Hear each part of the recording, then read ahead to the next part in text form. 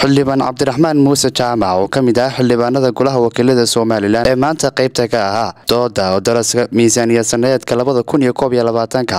Ayaa sheegay in miisaaniyad sanadeedka labada kun iyo koob iyo labaatanka lagu daro qarashka lagu soo gootinayo xildhibaanada golaha wakiilada somalilan gudoomiye waxaa jirta waxaa doorashadii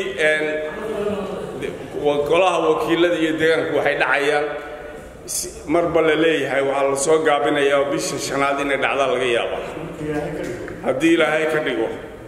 Laakiin waxa weeye miisaaniyaddina kuma jirto sagootiskii aan maalinta dhowto ansixinay sidaa daraaddeed waa in miisaaniyadda lagu daraa oraa looma baahnay haddaan iska tagno toddoba biloodoo dambe ma fadhiyane haddaan miisaaniyadda waxba inoogu jirin. Dee waxba tari maysahe. Miisaaniyadda waa in lagu daraa oo lagu lagu ay ku caddaataa sagootiskii xildhibaanada inuu ku jiro. Iyo maamuuskii. Qodobka labaad. Hadday jirtay haddayna jirinba waa ina ku muuqata. Tan doorashooyinkuba waa ka muuqataa maxaa tayna diiday inay ka muuqato? Taasuna waa mid. Ta kale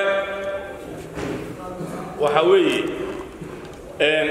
lacagta labada doolar ee loo gobollada bariga loogu talagalay. Gobollada bariga waxba kama gaadho. Welina meel mashruuc lagaga fuliye maana arag. Maantana hal doolar hal la goostaa la yidhi hal doolar ha la siiyo iyadii. Markii horena waxay ahayd in muddo kumeel gaadh ah gobollada bariga la siiyo waxna kama gaadhaane waxaa weeye tigidha iyo waxaa lagu siiyaa iyo hargeysa ku wada baxda. Ama ha la gooyo ama gobolladii lahaa sidoodii toos ha ugu tagto. Hadalka xildhibaanka ayaa ku soo beegmaya xilli ay muddidhaaf ka fadhiyaan xildhibaanada golaha wakiilada somalilan ku dhowaad koob iyo toban sano. Xamse dalxa wararka telefishinka madaxa banaani star t v